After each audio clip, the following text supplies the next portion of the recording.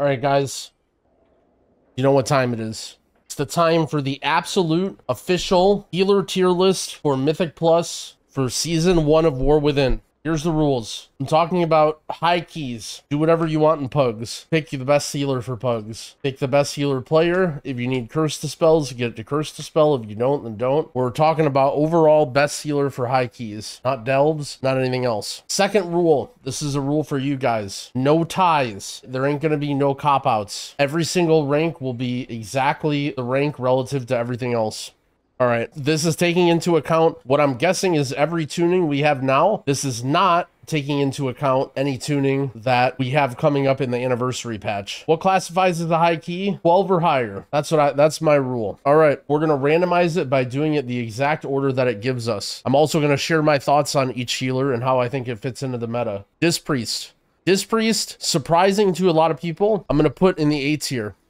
Disc Priest got turbo mega buffed at the start of the expansion after the first week of heroic. It does insane amounts of healing in five mans. Also, Disc Priest does very, very good uncapped AoE damage, not just with its void thingy and with its uh, guy, but also with PI. You can PI a DPS and do a lot of AoE damage. On top of that, it's good for surviving one shots. You have barrier, you have shields, you have rapture, lots of ways to survive one shotty stuff in high key keys. Also, Shadow Priest, very likely to not be good. So I think Disc Priest will fit in well and you'll very unlikely be uh, able to use your buffs. Or rather, you'll be very unlikely to not get good utilization of your buffs. However, some problems with Disc Priest, why it's not S tier. Number one, if you don't have your Mindbender up, which will happen sometimes until you get very high haste, your healing will turn to zero. You basically only can do good healing during Mindbender. And if there's a lot of movement or if you mess up or if something bad happens, this is very very big danger. Also, Disc Priest, very little utility in terms of stops. You have only fear and no kick, no anything. Also, Disc Priest, no curse dispel, no poison dispel. All of these things make Disc Priest not the greatest healer in pugs. However, I still think it's a very solid healer and is doing a ton of healing in five mans. So Disc Priest, very good at healing, not good at much else.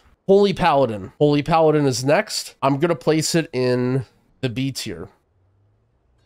Holy Paladin, I think, is all around a very, very good healer, and I would almost consider it the like ultimate mid healer. It can do everything you need to do. It has good utility, brings good other stuff. It's not necessarily OP. It's just all around does everything you need it to. I think Holy Paladin is a great addition to any team, and I think Holy Paladin will be able to compete in the highest keys. It might not have the healing output of Arsham. It might not have the damage output of some of the other healers, but it does everything very, very well well. Unfortunately, the nerfs to healing that are coming out with Mythic Week, mostly affected by Raid, and it's going to be a little bit frustrating for M+. But I think Holy Paladin is still very solid. And unlike other tier list makers, look, I'm, I'm saying it like it is. I'm putting B as mid. I know everyone likes to say B is the bottom tier because they're scared of the people in the comments.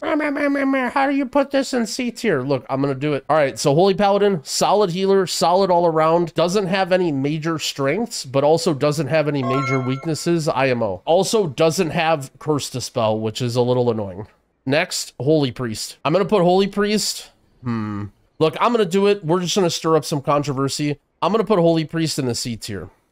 To me, Holy Priest is just, I don't really understand the appeal of it. Its damage is okay, but you have to really, really push hard and play for damage and optimize for damage. It's a priest, so it doesn't really bring that much in terms of utility and like extra stuff to your team. It doesn't have a curse dispel. It doesn't have a poison dispel. It's basically just a worse version of Disc Priest. In lower keys, lower to mid keys, I feel like you'll have a just fine time as Holy Priest because it's very easy to play. You can play whack-a-mole. You can just spam heal. Things like curses and diseases, if you're pugging, just make sure you bring somebody on your team that can remove those. And even if you can't remove them, it's not the end of the world. But I think as you get into higher keys, one of the biggest weaknesses that I find with Holy Priest is you need heavy burst AoE healing to deal with many of the more difficult bosses. And you'll notice for Paladin, for example, they're playing Beacon of Virtue because of how high the demand is for AoE healing. But Holy Priest just doesn't have good AoE healing. And I think Holy Priest to me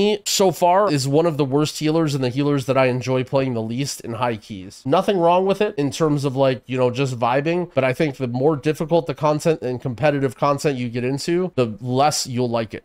All right, Mistweaver. So I think Mistweaver, I'm going to play solidly here next to Holy Paladin, above Holy Priest in the B tier. Healing wise, I think Mistweaver is a very, very solid healer. It does a lot of healing, and in some regards, you might say it's better than Holy Paladin. Mistweaver has a lot of really strong burst AoE healing buttons. You have Revival, you have your new hero talent ability, you have Sheilun's, you have a lot of tools to deal with passive damage by fist weaving, and a lot of big AoE heals to heal through the tougher mechanics. I'm fairly confident Mistweaver will be able to heal all the way up to the highest keys. Some problems with Mistweaver. Similar to the other healers that we've listed so far, it doesn't have a curse dispel. Especially compared to Disc Priest, Mistweaver's damage is very, very low. Mistweaver damages beans. If you're playing with a full melee comp, stuff like Fury Warrior, you can get good utilization out of the buff, but increasing physical damage of your party isn't really that useful compared to things like Fortitude or Devo Aura or Mark of the Wild. It brings one of the worst buffs. Its utility is also kind of whatever. I would say it's great for pugs, better so than priest because you have like stops, you have a short cooldown kick, you have ring of peace, you have lots of good stuff to use as Mistweaver. However, for high keys, there's nothing really separating Mistweaver from other healers. For example, with Paladin, being able to bop really dangerous mechanics, being able to bubble things, you know, being able to like GS something, whatever, like Mistweaver just doesn't really do that much crazy stuff that the other healers can. However, still a very good healer. And I think this is like a good pug healer. I think think out of the healers so far, if you're saying who should I invite to my plus 10 key, I actually think Mistweaver is the best of the four.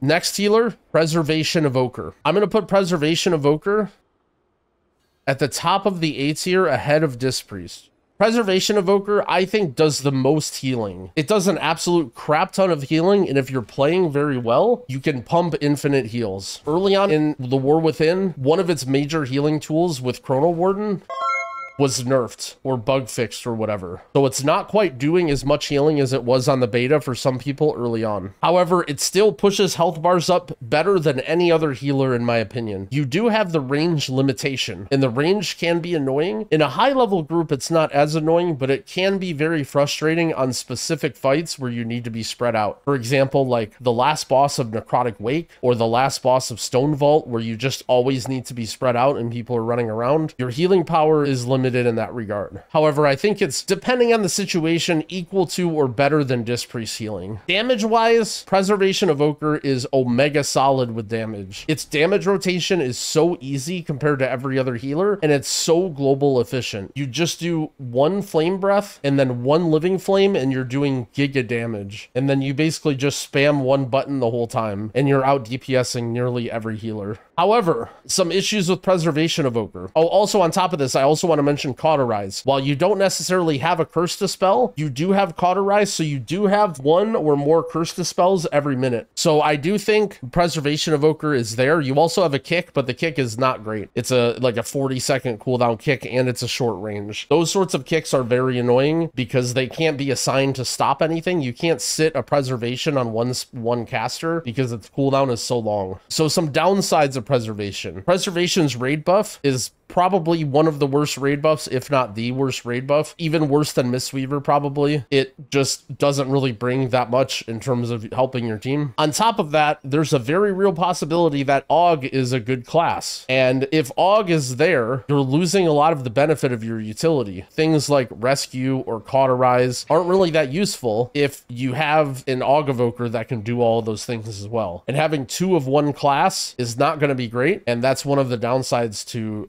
Prez, I think. However, I don't want to understate how much healing and damage Prez can put out. Prez is putting out giga, giga healing and damage. This is a very, very good healer.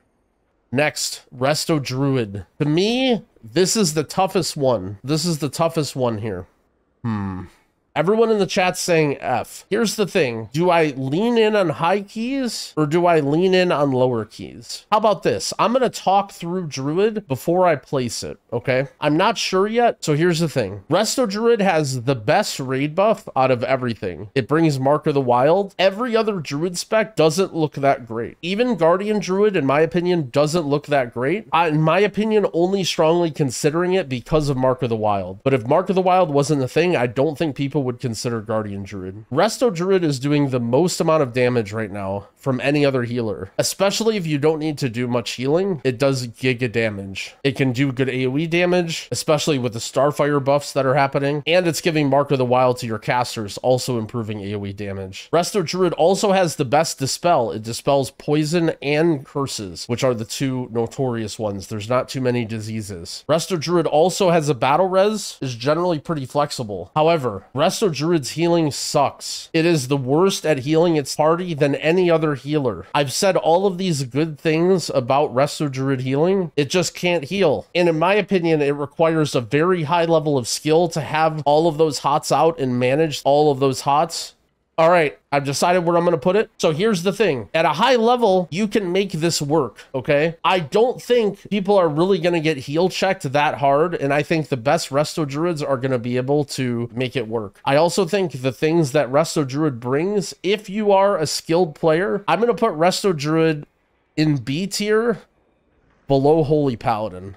I actually think that all of the pros that Resto Druid brings outweigh the fact that it sucks at healing. I know this might be a little bit copium, but Resto Druid's healing is getting buffed, and I think with a good team, you can make it work. I know it's a little bit wild. I think the biggest concern with Resto Druid is you might literally just get heal checked by some dungeons. But for example, think about how many keys where it won't necessarily matter, right? Where you won't necessarily need infinite amounts of healing. The biggest benefit to where I think you'll see Resto Druid potential is if some stuff gets nerfed and all like uh, damage in dungeons, which I think is almost a given at this point. And I also think that if AUG becomes meta and people do play like the raid buff comp with AUG and Druid and Mage again, I think realistically you can play Resto Druid and high keys. Maybe I'm huffing Major Copium, but I personally think there's a better chance that you see a Resto Druid in a World First Key than a Mistweaver.